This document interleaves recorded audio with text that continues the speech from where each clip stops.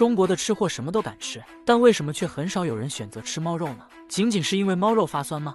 作为一个对美食包容度很大的国家来说，不管是天上飞的、地上走的，还是水里游的，只要是我们能看到的东西，都能变成餐桌上的美味。甚至一些外国人在看到我们的特色美食时，都会被吓得连连后退。但就算是这样，我们为什么却没有选择对猫肉下手呢？仅仅是因为猫可爱吗？其实早在李时珍的《本草纲目》中就有关于食用猫肉的记载。大概意思就是说，猫肉不好吃，而且还很酸，不能端上饭桌，所以吃的人很少。不仅如此，野猫还十分狡猾，不易捕捉，人们几乎不是野猫的对手，所以食用的人就更少了。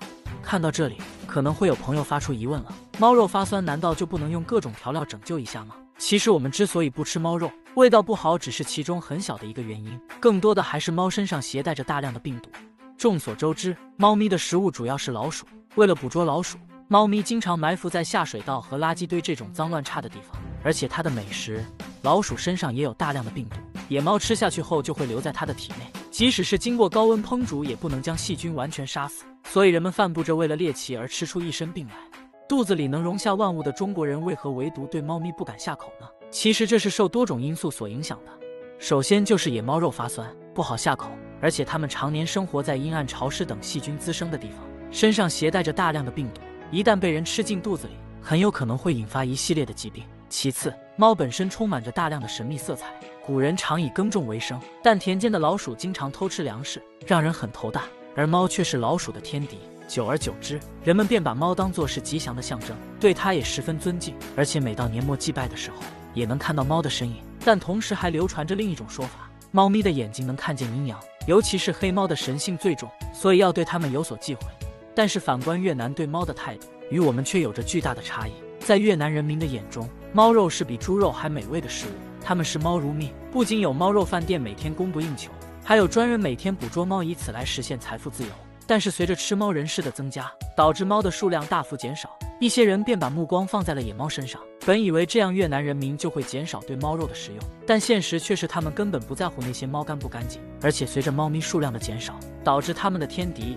老鼠也变得猖狂起来，可更让人没想到的是，越南人竟把老鼠又做成了餐桌美食。就这样，一猫一鼠成功的在越南站稳了脚步，甚至还是逢年过节的首选。中国人一向对美食不挑剔，却唯独在猫咪身上犯了难。抛开猫自身的原因，最主要的还是，不管是以前还是现在，我们从来都没有把猫咪当做是一道食物，而是把它们当做人类的朋友在友好相处。况且，如果真的想吃肉，可以吃鸡鸭牛羊这种味道鲜美而且还饲养周期短的动物。就拿家鸡为例，通常一个多月就能食用，而且还是自家喂养的，也吃着相对安心一些。而猫的体型娇小，成长速度还很慢，即使养了很多年，猫咪的体型也不会发生较大的变化。如果只是为了吃猫身上那一点点还有点酸的肉而养它们那么多年，那显然是不明智的选择。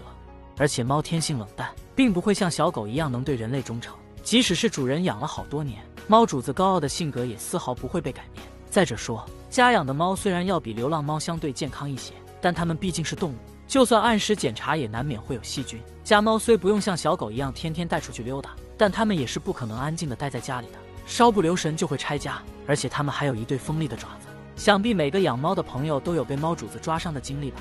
所以，不管是从哪个方面来说，中国人都不会因为猫是动物而把当做美食去享用。而且随着现代社会独居的年轻人越来越多，他们往往把猫狗看作是情感的依托，以及深夜回家后陪伴自己的好朋友。